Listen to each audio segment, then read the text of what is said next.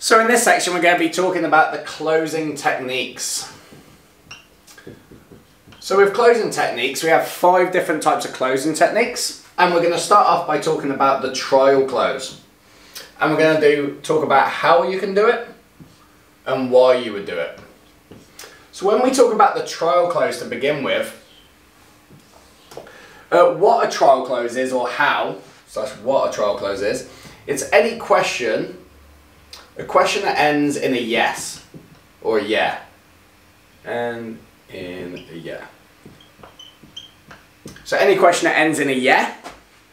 And the reason we do it is two reasons. One, to gauge their impulse. So just like we talked about in the kiss versus kill section, if you're doing trial closes throughout your presentations with yeahs at the end, you can find how impulse they are. And the second reason is to get them in yes mode. Now the reason we want to be getting them in yes mode is that compliance obviously plays a huge role in human behaviour. Uh, there's actually a TV show with Derren Brown. Uh, he's an English illusionist or psychologist, whatever. Uh, he's a performer, and what he did, he did a whole show talking about how if he got people doing these tiny little things and complying to tiny little stuff like moving a suitcase when they shouldn't have to, or helping change um, these tags on sausage rolls into vegetarian sausage roll because they didn't order the vegetarian, would he start doing these tiny things and build up to actually pushing someone off the edge? Uh, I, I don't want to ruin the show, but if you go watch it, it's called Derren Brown The Push and it teaches you all about compliance and it's so crucial. If you can get them in more yes mode the more yeses the easier they are to say yes at the end. So it's any type of question ending in a yeah is a trial close the second uh, closing technique is an assumptive close. So with the assumptive close how you do it is lift the iPad so you just lift the iPad and assume that they're going to get on board. That doesn't mean you're just lifting the iPad just randomly. Obviously, you normally like to follow a trial close with a lift of an iPad, but obviously you just assume that they're getting on board. If you hesitate, so no hesitation. Because if you hesitate, what it does is it undermines all the confidence that you've just shown and it makes them hesitate then once again. You transfer that emotion. So if you're 100% confident, no hesitation, you can assume them. The reason we do this because we want to show confidence in our product.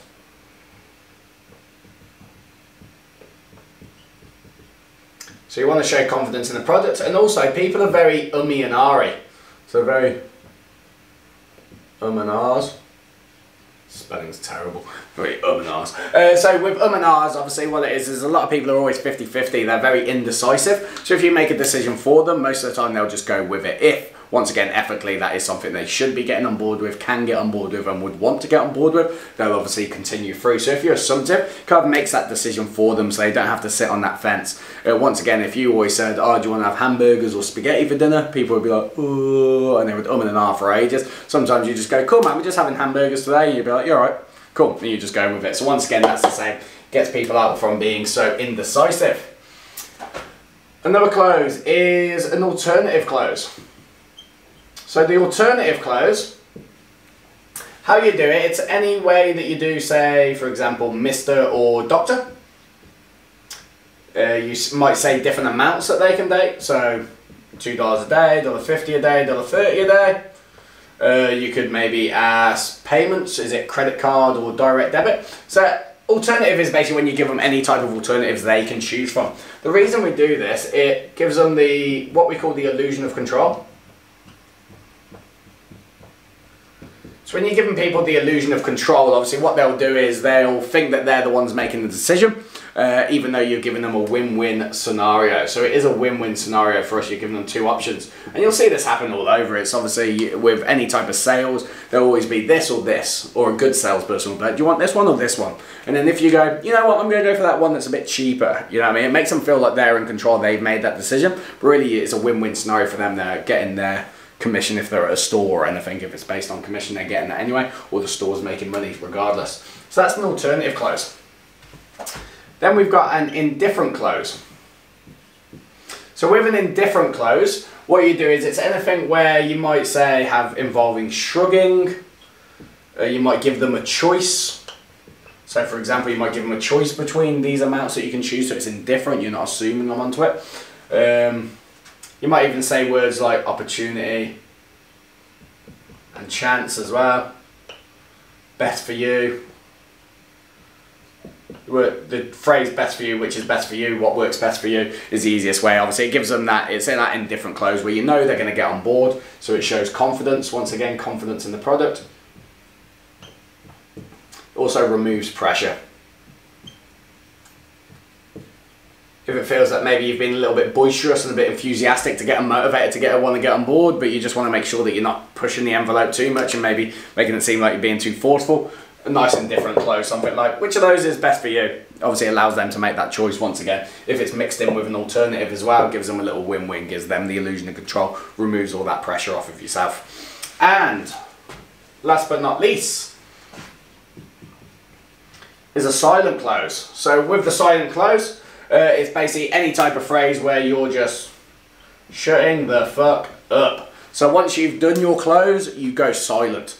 Even if, for example, in your presentation there was one or two bits that you wanted to mention, maybe the tax bag, maybe if you wanted to talk about, if you're selling a car, if you want to talk about the extra features or deals that they can be done there. If you've gone to go into the close and you've done the sound fair enough or which is best for you or Mr. or Doctor, anything like that, if you've done your close, you're shutting the fuck up because it's the first person that speaks.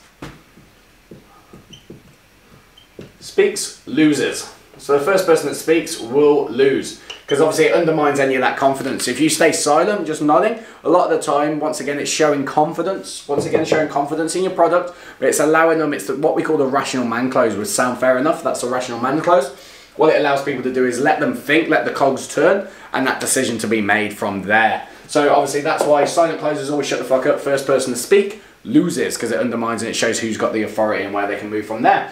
And that's the five closing techniques, guys. So with these closing techniques, there are a combination of them when it looks at our division that we're looking at, but let's look at this in the whole wide range of sales. You can mix and match these all the time. So you could do an assumptive alternative. So you can say, there's two payment types, direct debit or card. Are you a card user?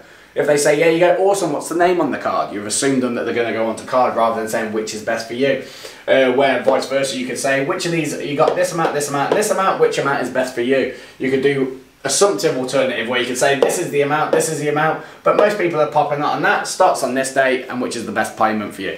You could do a silent close with sound fair enough, mixed in with a trial close of, obviously you might be going, uh, that sounds fair, yeah?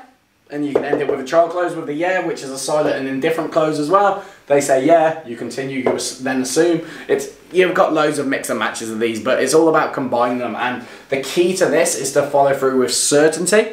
Uh, obviously, make sure you're nice and loud. And when you're going for that close, fucking go for it. Do what we call ABC. Always be closing. If you're seeing that they're impulse, get that iPad up. Worst case scenario, they say no or they have an objection that you can then deal with through the objection handle models. It's all about closing with confidence, absolute certainty, nice and loud, nice and calm, and then get up with that iPad and show that you're assumptive, show that you're confident in that product.